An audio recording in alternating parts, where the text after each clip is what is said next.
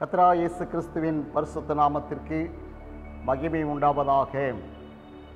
கத்தர் கிருபையாக இந்த ரெண்டாயிரத்தி இருபத்தி ஒன்றாம் ஆண்டின் நான்கு மாதங்களை கடந்து ஐந்தாவது மாதத்தில் நாம் பிரவேசிப்பதற்கு கத்தர் கிருபை கொடுத்திருக்கிறார். எங்கு பார்த்தாலும் மரண ஓலங்கள் நரக வேதனைகள் ஆஸ்பத்திரியில் மருந்து இல்லை. மக்கள் தவியாய் தவித்து கொண்டிருக்கிறார்கள். லாக்டவுன் குடும்பத்திற்கு போதுமான வருமானம் இல்லை. வறுமை பிரச்சனைகள் வேலை இல்லை. கலக்கங்கள் சோதனைகள் போராட்டங்கள். எல்லா சூழ்நிலைகளின் நடுவிலும் இன்றைக்கு ஜனங்கள் வாழ்ந்து கொண்டிருக்கிறார்கள். அன்பு தேவ பிள்ளைகளே இந்த நாள் நம்முடைய இந்திய நாட்டிற்கு முக்கியமான நாள். மே ஒன்று. தொழிலாளர்கள் தினம் என்று அழைக்கப்படுகிற இந்த நாள். ஆரம்ப நாட்களிலே தொழிலாளர்கள் எவ்வளவு கஷ்டப்பட்டிருக்கிறார்கள். நம்முடைய இந்தியா சுதந்திரம் வாங்க எவ்வளவு பாடுபட்டிருக்கிறார்கள். அது மட்டுமல்ல நம்முடைய முன்னோர்கள் இன்னும் வேதத்திலே கூட தேவ மனிதன் ஆதாம் ஏவாள் ஆண்டவராக இயேசு கிறிஸ்து அவர் படைத்ததான மனிதர்கள் ஆ- ஆதாமும் ஏவாளும் ஏதேன் தோட்டத்தை பண்படுத்தும்படியான ஒரு வேலையை கர்த்தர் கொடுத்தார். அன்பு தேவ பிள்ளைகளை வேதம் சொல்கிறது இந்த நாட்களிலே நாம் வேலை செய்ய வேண்டும் என்று வேலை செய்யாமல் இருக்கக்கூடாது என்று வேதத்தில் எழுதப்பட்டிருக்கிறது. ஆகவே இந்த தொழில் மனிதர்கள் செய்யக்கூடிய தொழில்கள் வேதத்திலே யாத்ராமன் புஸ்தகத்தில் கர்த்தர் சில மனிதரை பெயர் சொல்லி அழைத்து இஸ்ரவேல் என்ற மனிதனை அழைத்து அவர் வேலைகளை செய்வதற்குரிய ஞானத்தை கர்த்தர் கொடுத்திருக்கிறார் அறிவை கர்த்தர் கொடுத்திருக்கிறார். ஆகவே எல்லாமே தேவனுடைய கிருபையினாலே நடைபெறுகிறது பிரியமானவர்களே. ஆக இந்த நாளிலும் கர்த்தர் நமக்கொரு ஆசீர்வாதத்தை வைத்து வைத்திருக்கிறார். வேதம் சொல்கிறது என்னாகமத்தின் புஸ்தகம் இருபத்தி நான்காம் அதிகாரம் முதல் வசனத்தின் முதல் பகுதியை வாசிக்கும் பொழுது இஸ்ரவேலை ஆசீர்வதிப்பதே கத்தருக்கு பிரியம். இஸ்ரவேலை ஆசீர்வதிப்பதே கத்தருக்கு பிரியம் என்று இங்கே எண்ணாகமும் இருபத்தி நான்காம் அதிகாரம் முதல் வசனத்தின் முன்பகுதியிலே நாம் வாசிக்கிறோம். இஸ்ரவேல் யாக்கோபு இஸ்ரவேலாக ஆசிர்வதிக்கப்பட்டார். ஆபிரகாமின் குடும்பம் ஈசாக்கின் குடும்பம் யாக்கோபின் குடும்பம் பனிரெண்டு பிள்ளைகளும் ஆசீர்வதிக்கப்பட்டார்கள். அன்பு தேவ பிள்ளைகளே ஆக அவர்கள் ஆடுகளை மேய்க்கிற தொழிலிலே அவர்கள் இருந்தார்கள். கத்தர் அந்த தொழிலை அவர்களுக்கு ஆசிர்வதித்து கொடுத்தார். இந்த வார்த்தையின் அர்த்தம் இஸ்ரவேலை ஆசீர்வதிப்பதே கர்த்தருக்கு பிரியம் என்று அங்கே எழுதப்பட்டு இருக்கிறது. பாலாக் என்ற ராஜா விலேயாம் என்ற ஒரு தீர்க்கதரிசியை அழைத்து இந்த ஜனங்களை சபிக்க வேண்டும் என்று சொல்லி அவருக்கு கூலி கொடுப்பேன் என்று சொல்லியிருக்கிறார். அன்பு தேவ பிள்ளைகளே ஆகவே பிலேயாம் தீர்க்கதரிசி அந்த வார்த்தையை கேட்டு இஸ்ரேவேல் ஜனங்களை சபிக்கும்படியாக புறப்பட்டு வருகிறான் அதையெல்லாம் நீங்கள் வாசித்து பாருங்கள். வாசித்து பார்த்திருப்பீர்கள். வாசிக்காதவர்கள் வாசித்து பார்த்து கொள்ளுங்கள். ஆனால் விளையாமல் வாயிலிருந்து வரக்கூடிய வார்த்தை அந்த வார்த்தையை கர்த்தர் ஆசீர்வதித்தார். ஏனென்றால் இஸ்ரவேல் ஜனங்களை சபிக்க முடியாது. காரணம் இஸ்ரவேலின் தகப்பன். இஸ்ரவேலின் தகப்பன் ஈசாக்கு ஆபிரகாமோடு பண்ணின உடன்படிக்கையை கத்தர் நினைவு கூர்ந்து கொண்டிருக்கிறார். ஆகவே அவரே இஸ்ரவேல் ஜனங்களை எகிப்து தேசத்திலிருந்து பலவிதமான பிரச்சனைகளின் நடுவிலிருந்து அழைத்து கொண்டு வந்தார்.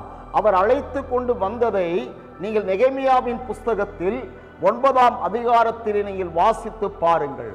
அப்படியாக வருகின்ற வேளையிலே கத்தர் மோசையோடு யாத்திராகம் இருபதாம் அதிகாரத்திலும் உபாகமும் ஐந்தாம் அதிகாரத்தையும் வாசித்து பார்க்கும் பொழுது அங்கே கற்பனைகளை கர்த்தர் கொடுக்கிறார்.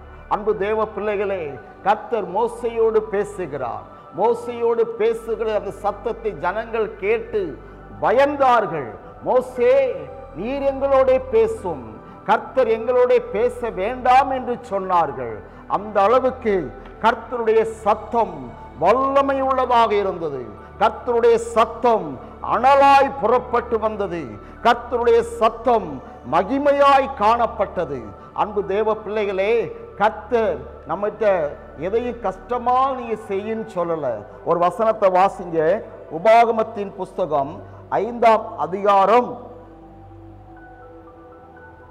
அதில் பதினாறாம் வசனம் மற்றும் இருபத்தி எட்டாம் வசனத்தை அடியின் வாசிக்கிறேன். உன் தேவனாகிய கர்த்தர் உனக்கு கொடுக்கிற தேசத்திலே உன் நாட்கள் நீடித்திருப்பதற்கும் நீ நன்றாய் இருப்பதற்கும் உன் தேவனாகிய கர்த்தர் உனக்கு கட்டளையிட்டபடியே உன் தகப்பனையும் உன் தாயையும் கனம் பண்ணுவாயாக. இருபத்தி எட்டாம் வசனம் நீங்கள் என்னோட பேசுகையில் கர்த்தர் உங்கள் வார்த்தைகளை கேட்டு கர்த்தர் என்னை நோக்கி இந்த ஜனங்கள் உன்னோடு சொன்ன வார்த்தைகளை கேட்டேன். அவர்கள் சொன்னது எல்லாம் நன்றாய் சொன்னார்கள். அவர்களும் அவர்கள் பிள்ளைகளும் என்றென்றைக்கும் நன்றாய் இருக்கும்படி அவர்கள் என்னாலும் எனக்கு பயந்து என் கற்பனைகளை எல்லாம் கைக்கொள்வதற்கு ஏற்ற இருதயம் அவர்களுக்கு இருந்தால் நலமாயிருக்கும். அன்பு தேவ பிள்ளைகளே இந்த வார்த்தை நமக்கு ஒரு வாக்கு தத்துவத்தின் செய்தி. இஸ்ரவேலை ஆசீர்வதிப்பதே கர்த்தருக்கு பிரியும். இஸ்ரவேலை ஆசீர்வதிப்பதே கர்த்தருக்கு பிரியும். இஸ்ரவேலை ஆசிர்வதிப்பதற்கு கர்த்தர் கட்டளைகளை கொடுத்திருக்கிறார். அந்த கட்டளைகளை நாம் கைக்கொள்ள வேண்டும் என்று சொல்லி அவர் விரும்புகிறார். அன்பு தேவ பிள்ளைகளை இந்த வார்த்தையை படிக்கிறீர்கள் இந்த வார்த்தையை கேட்கிறீர்கள். ஆனால் அந்த வார்த்தையின்படி நடக்க நம்மை ஒப்பு கொடுத்திருக்கிறோமாம்.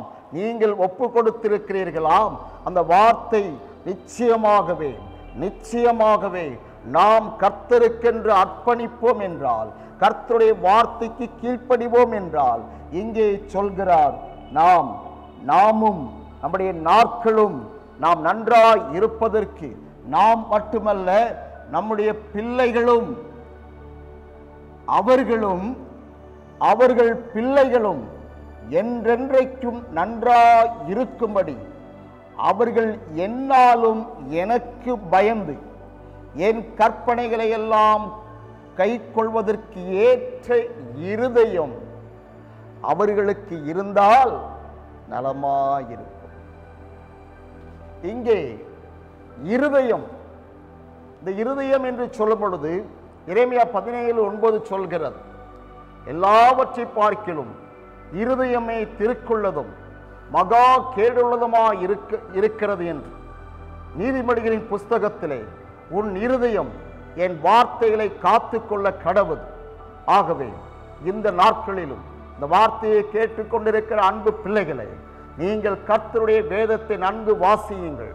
கர்த்தருடைய வேதத்தை திரும்ப திரும்ப வாசியுங்கள்.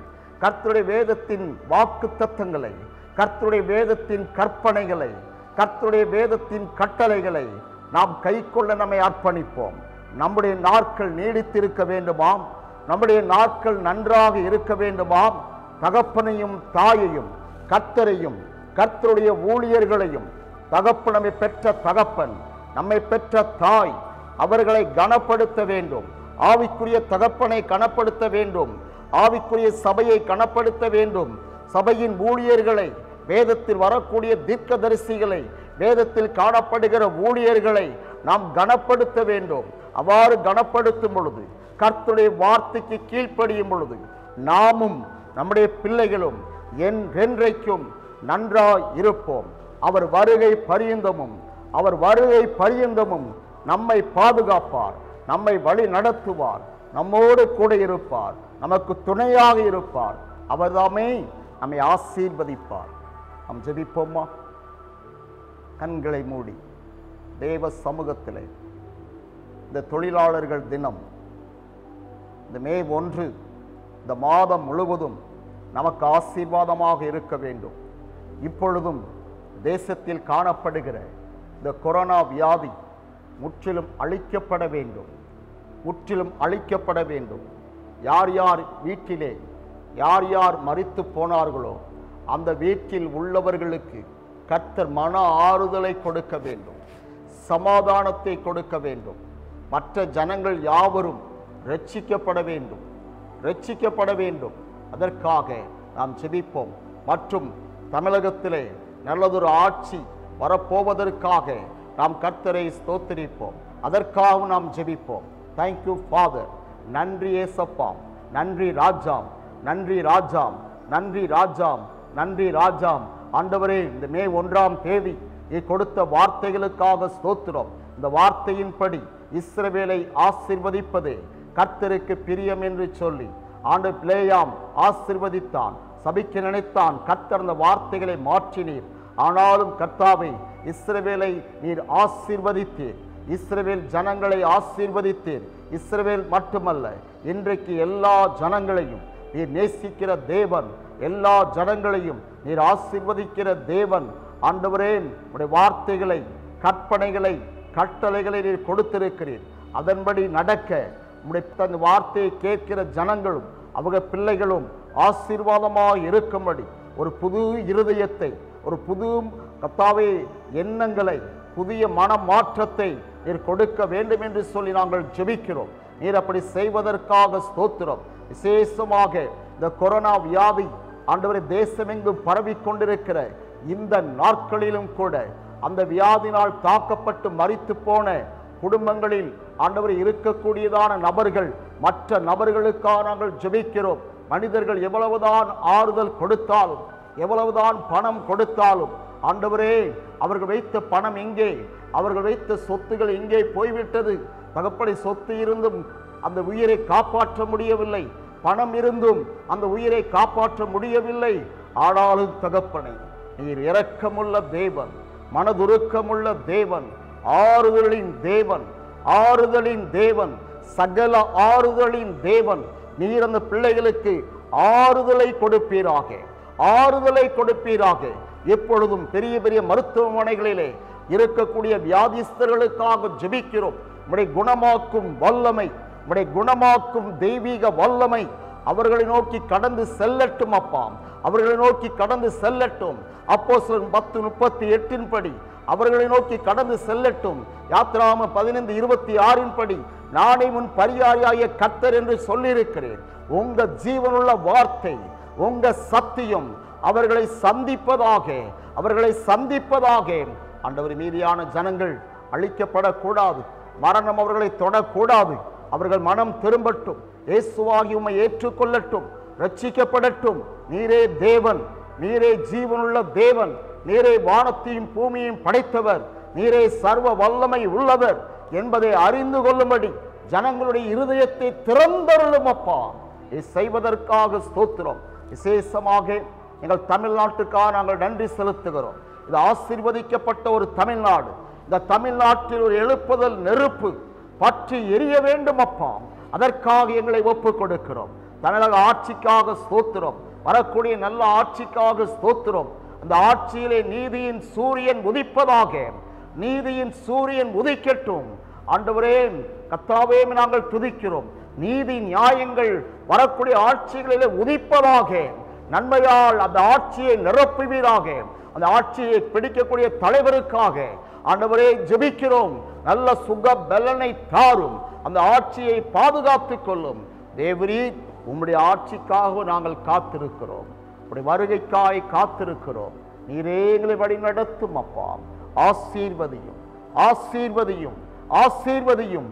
அப்படி செய்வதற்காக ஸ்தோத்திரம். எங்கள் ஜெபத்தை ஏற்றுக்கொண்ட தெய்வுக்காக ஸ்தோத்திரம். கத்ரா இயேசு கிறிஸ்துவின் நாமத்தில் ஜெபிக்கிறோம் பிதாவே. ஆமேன் ஆமேன்.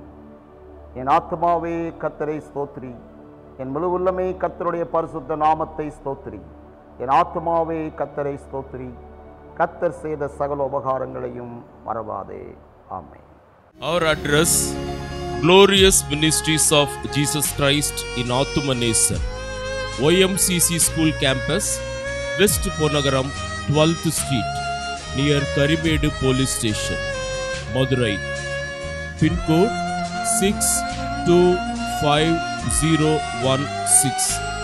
Our contact number double nine four two five eight double four one five.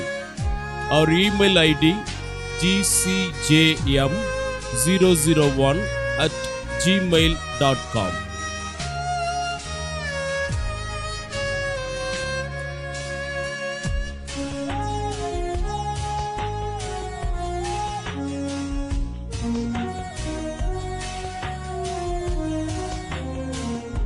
God bless you.